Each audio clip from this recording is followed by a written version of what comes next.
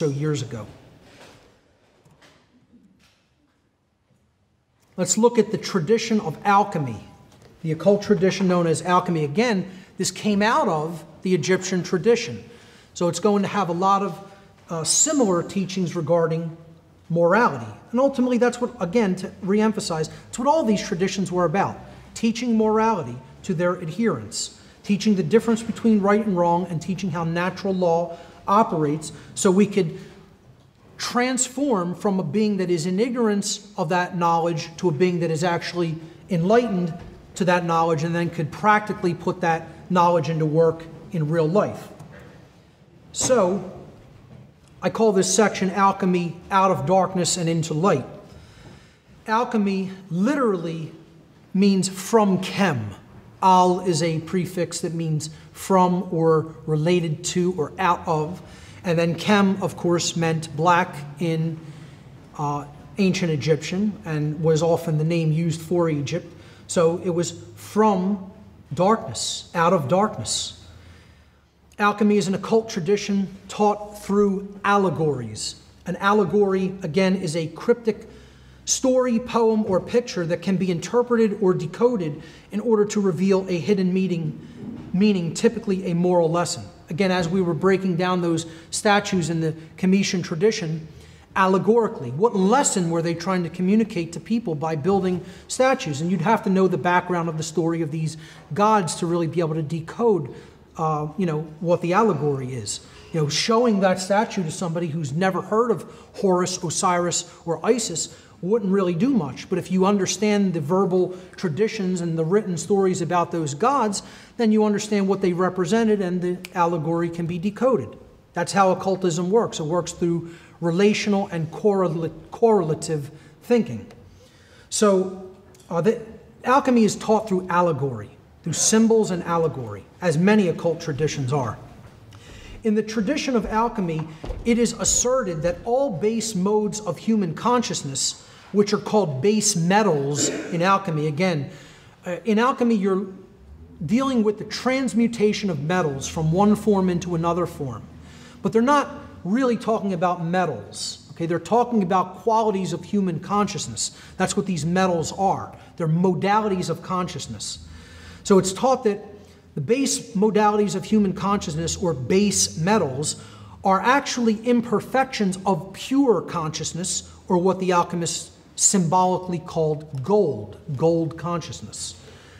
And that all metals are ordained by nature to become the perfect, quote, gold of the sun, or in other words, enlightened consciousness or enlightened beings.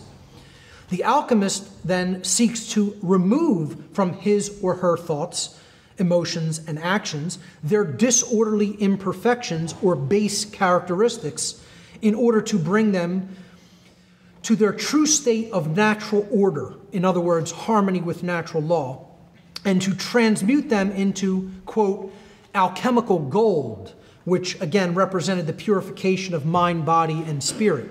Now, notice this is again an apophatic tradition. It works through a negative pathway. You're starting with something and you are breaking it down and removing the impurities. You're not adding something to it, you're taking away something that is already there. And this is representative of we are polluted with so much bad information, with bad programming, with beliefs that don't serve who we really are, with beliefs that don't give us an accurate understanding about how nature and the laws of consciousness work.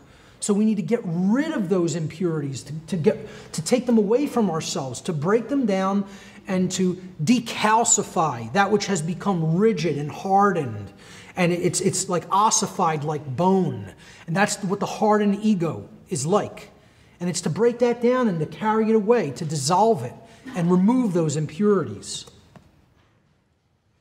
Some of the symbols in the uh, symbolic um, tradition of allegory very simple, basic, rudimentary ones. There's so many of them, you can get lost in them all.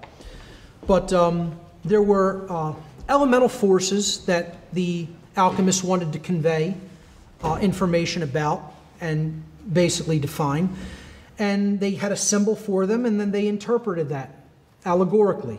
And here's some basic ones the symbol of earth, um, an inverted uh, equilateral triangle with a line going through about the uh, uh, two-thirds point if you take the measure from the base to the, to the apex. Um, the symbol of earth represented inherent characteristics of the being, uh, their talents and resources that they may have developed or that they had a, a proclivity to or an inclination toward. Perhaps something that was um, inherent, that they maybe came in with uh, a tendency for. So, air represented the intellect, and that is the pure intellect, meaning the, the left brain modality, our ability to compute, our ability to um, define things logically, our ability to break things down, analyze, etc. Water, the um, inverted triangle, represented emotion, intuition, and creativity. Again, that sacred feminine essence, dealing with largely emotion and the sacred feminine qualities.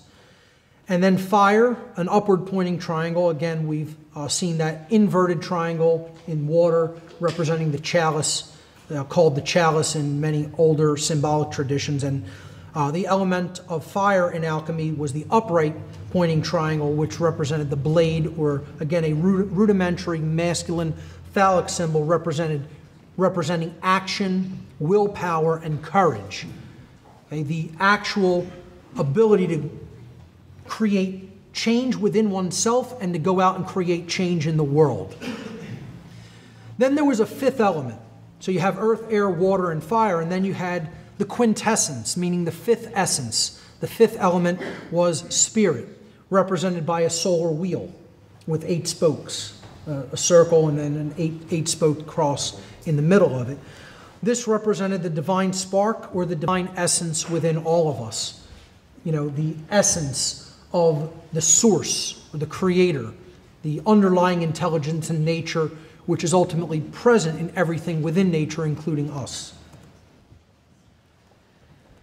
Alchemists speak of something called prima materia, or starting matter. Starting substance is what prima materia was. Again, the starting substance is the human being that needs to be purified, that needs the impurities removed from them so that they can come to a more clear and accurate and de occulted understanding of the laws of nature. The starting substance or prima materia is used at the inception of the alchemical work, the beginning. Silver is considered to be one of the starting substances. There are others, but silver is one of the main uh, sources of prima materia in alchemy. The alchemical symbol for silver is the moon, or is associated with the moon. Because silver represented in alchemy the feminine aspects of the human psyche, including the attributes of intuition, inner wisdom, compassion, open mindedness, and contemplation. And that's what you need to begin. You need that sense of open mindedness, of desire, of willing to learn willing to open yourself up and receive. Okay, the truth is always out there, but we have to be open to receive it.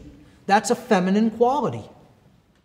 it's it's uh, absolutely essential and central to the tradition of Kabbalah, which we're going to talk about momentarily, which means reception. So, alchemists also referred to an all important agent which is necessary for the transmutation of, quote, base metals into, quote, gold, or in other words, base modes of consciousness into higher forms of consciousness. This agent has been referred to as the elixir of life, the philosophical powder, and the quintessence. But by far, the most well known name for this uh, agent of transformation was the philosopher's stone. The philosopher's stone represented man himself at the beginning of the process of self mastery. It also represented the universal spark, the divine spark or divine essence, which is present in everything that has been created, and thus also in the alchemist himself. The great work of alchemical transmutation is accomplished in three phases, which I'm going to cover briefly here. They are these three phases of transformation in alchemy are all explained allegorically. The first phase was called nigredo. Nigredo means blackening in Latin. This is a state of putrefaction, of breaking something down, corruption, dissolution, individuation, descent into matter, descent into the undifferentiated and into chaos. It represents the soul's descent into the material plane and the suffering experienced in the physical world. Alchemists often represented the soul at this stage as the element of salt. Because salt is crystallized, it's hardened, it's fixed, just like an ego that is resistant to change. And I would suggest this is the state the world is in. We are in the state of nigredo, of blackening, of corruption, of putrefaction. And believe me, the vast, vast, vast majority of the people on this world are the salt. And I don't mean salt of the earth in the good way. They're crystallized, they're hardened, they're resistant to change, and they need to be dissolved and broken down mentally, emotionally, spiritually. The second phase of alchemical transformation is albedo, which means whitening. Albedo represents the process of spiritual purification the burning out of impurities from the salt or hardened ego.